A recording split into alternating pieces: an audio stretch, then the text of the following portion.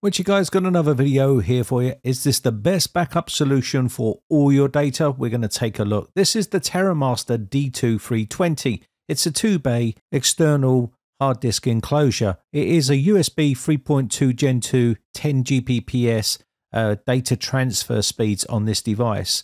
This is everything you're going to get in the box. You're going to get a little tiny screwdriver to change the actual RAID settings, some screws for your drives, your warranty, and you'll also get your cable, which is your Type C cable here to get those super fast speeds. And we got some stickers and also a quick start guide there. We have the power adapter here with a UK plug. Yours will be whatever country you live in. And again, we have that barrel jack uh, on the end of this, quite a reasonably sized cable here.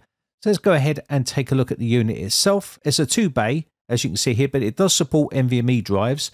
We have two bay on the front, which does support three and a half inch and two and a half inch drives on here. You do have some LED lights on the front indicating uh, when the unit is working correctly. We also have some ventilation with the TerraMaster logo and a little sticker which you can remove which tells you how to set up your RAID. You do have multiple RAID modes on here. On the back we have our fan, power button, our reset and our RAID configuration and a Type-C connector which allows you to plug it in your computer or into another TerraMaster NAS drive, which will extend the capacity of this. On the bottom, we have some ventilation. If you remove these two screws here, this will allow you to gain access to the side panel, which is where your NVMe drives can be uh, populated. So let me just quickly show you this by removing this here. And this just gives us access to this little panel inside here. And as you can see, we can populate this with three uh, more storage drives here. These are NVMe M.2 SSDs and these are PCI Express 3.0.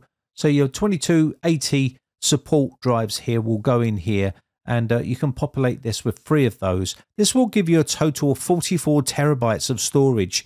Now the downside is you don't have any Ethernet port on this particular device, which means you would have to use this as an expansion of your network attached storage space by plugging it into your TerraMaster NAS. And this will then extend that sort of capacity for your storage by doing that. To populate the drives, it just slides out like so. And all you need to do is pop in your 3.5 inch drive into here in this toolless design. Also, if you are using a 2.5 inch SSD or mechanical drives, you will need to use the screws that come in the kit to make sure it's held into the drive bay here. Once you've populated these, I'll show you how to do it. It's very simple. You just need to slot it in like so, and then you use the toolless design clip on the side to hold the drive in place. There's two of them here, and once you've done that, it should hold the drive in nice and firmly. Now, again, we can slot this in once we're done, and we can populate both of these bays. And you can use large capacity drives if you wish to get more uh, drive storage on here. Now, once you've set this up, you've got multiple RAID modes. You've got support for RAID 0, RAID 1, and JBOD and single disk if you only want to put a single disk in. We have a Type-C cable here and I'm going to quickly show you how to set this up. Very simple. Put your power in. If you want to change this to JBOD or RAID 0 or RAID 1 or single uh, disk mode, you can do by just turning the little dial here with this little screwdriver that comes in the kit. So RAID 0 will be disk striping and also RAID 1 will be uh, disk mirroring. And of course, you've got single uh, storage and also you've got JBOD. These are not going to have any sort of redundancy uh, so if you're going to use those modes, you're not going to have any sort of redundancy for your data. So choose which one you want to use. Next up, you can go to the website here. And once you've got this plugged into your computer, you can put start.terra-master.com. And this will give you all the information about your actual device. You can read up about the information that has set it up, give yourself an email address and choose your product and choose the drive slots and also the model number. You can put all that information in the actual screen here. And once you've done that, choose whether you've got a TNAS or NAS, and uh, this will tell you exactly how to set this all up. It's very straightforward and easy to do. Now, if you're using one of the TerraMaster NASs and your drive bays are all full and they're full capacity already, then you can use something like this to expand the uh, data on that NAS. You can plug this into your NAS and basically, what would happen rather than plug it into a computer with a Type C port, you'd plug it into your NAS. And what this will do was extend the capacity for that NAS. You would end up getting two more drive bays and actually three more NVMe drive bays in there as well. It's a cheaper way than going out buying a brand new NAS. Now, once you've got it plugged in, you can see the drives are visible on here, but they are set up for another device. So I'm going to quickly delete all of these partitions. Now, I could reset the device and it would delete all these for me, uh, but I'm just going to go ahead and manually do these inside disk management here. All I need to do is uh, delete the actual volumes and make it unallocated space.